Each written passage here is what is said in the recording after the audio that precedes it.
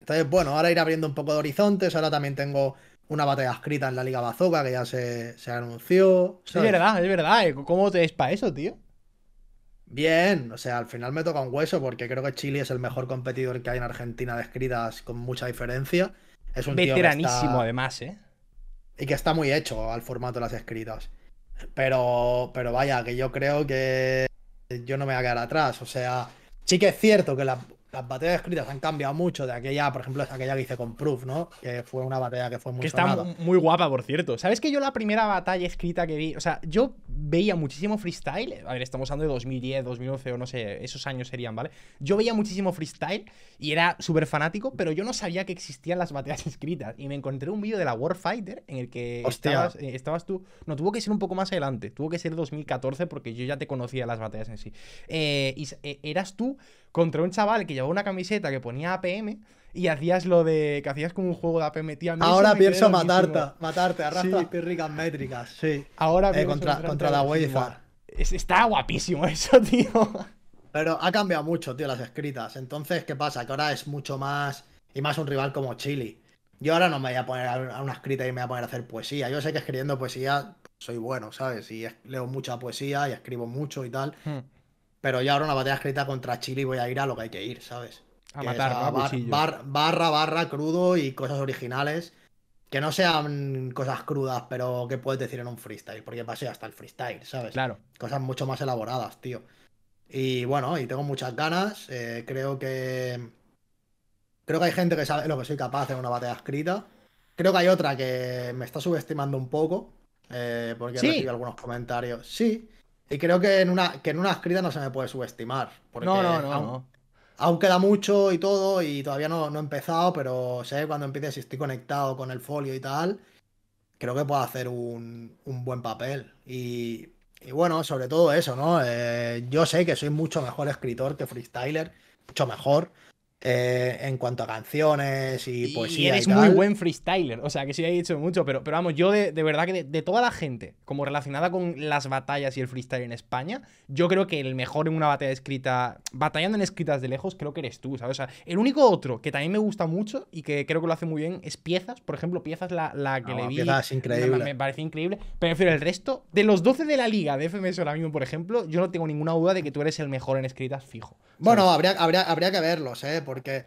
Pero sí que es verdad que en, cuanto a canciones es gente que igual no ha trabajado tanto la escritura como yo. Es que yo al final. Y tú además has hecho poesía, es que tú. Menak, por ejemplo, sí que tiene temas muy guapos y también se nota que es un tío muy leído y creo que también puede ser muy bueno en una escrita.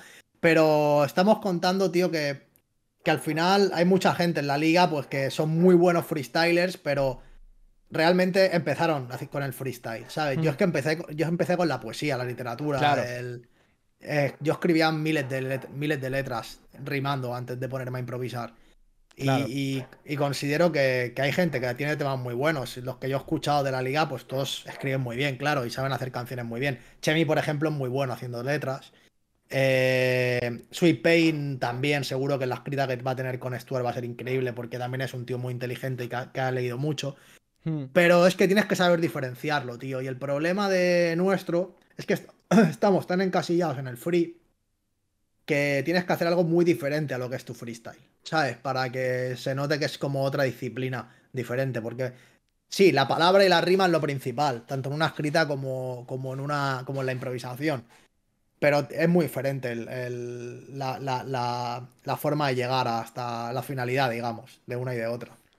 Yo la verdad que nunca me, o sea, nunca me he animado a una escrita ni creo que me animase porque además de que yo nunca he escrito, ¿sabes? En plan, yo no he hecho canciones casi, he hecho cuatro tonterías. Bueno, pero, pero tenías algunas que estaban guapas, tío. sí, bueno, pero los subs y tal. My Life y tal, pero a ver, son otro tipo de cosas, tío. Yo no, no me veo en ese mundillo tanto, ¿sabes? Y además que creo que tiene que llevar, me imagino, una cantidad de, horas eh, impresionante, ¿no? O sea, preparar una escrita, ya solamente lo que es escribir todo para el rival, eh, con la complejidad que tiene. Porque al final es lo que dices tú, ¿sabes? Una rima muy buena que sueltas en una batalla, en una batalla escrita es una mierda seguramente porque es que es otro rollo. Eh, después también el trabajo de memorización de todo eso para, para poder estar en directo y soltar todos los rounds y que no se te vaya nada y que la capacidad mental que tienes que tener para que en medio de un round lo sueltas y el público empieza a gritar que flipas y como que se para eso, ¿no? Y después saber retomarlo bien y seguir de forma fluida. En plan, tiene que ser, ¡buah!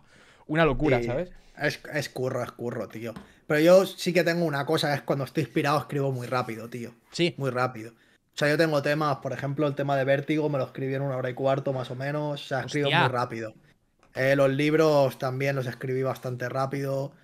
Eh, yo al final, si me pongo en una hora, igual tengo dos poemas o tres hechos, ¿sabes? O sea, escribo Claro. rápido. Luego sí que es verdad que, que, que los voy puliendo, que lo lees con otra perspectiva, en otro momento de tu, de tu vida, ¿sabes? Y, y luego sueles cambiarlo todo. El proceso creativo es mucho más largo que lo que, que el cuerpo principal, que el esqueleto.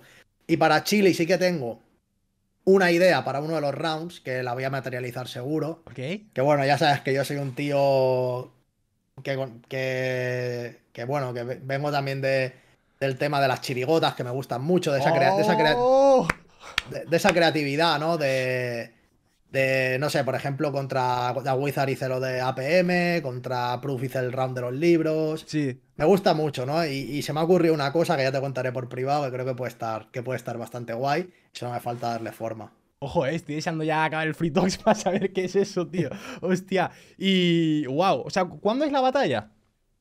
El 29, 29 creo, de abril, a finales de abril. 29 de abril. Hostia, pues a ver qué pasa. Y tío, ¿no te da...?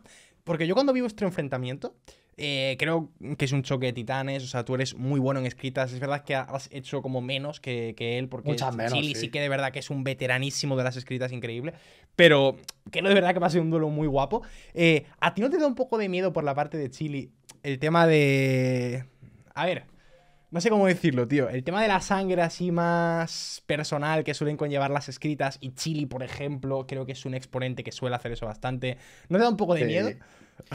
Bueno, yo, yo sé a lo que voy, hermano. ¿Sabes? Claro. Y ya está. O sea, al final Chili me va a tirar, pues eso, ¿no? Eh, cosas del beso de arcano, de mil cosas así. Me imagino. Que, que va a ir ahí como un cabrón. Y, y sé que lo va a hacer, que lo va a hacer muy bien. Y, y- y sé que el tío va a sacar unos rounds espectaculares.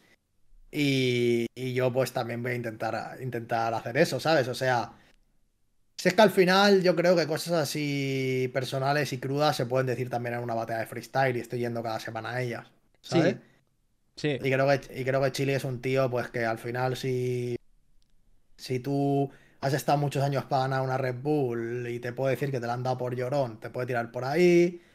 Si te puede, te puede leerse tus libros y decirte que tu poesía es una basura y limpiarse el culo con uno de tus libros en directo, puede hacer lo que quiera. Sí. Claro, puede hacer lo que quiera, bro.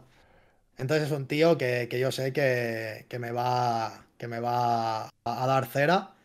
Pero bueno, yo también voy a investigarle a él y a intentar ser también bastante crudo. Esa, esa. Así me gusta, así me gusta.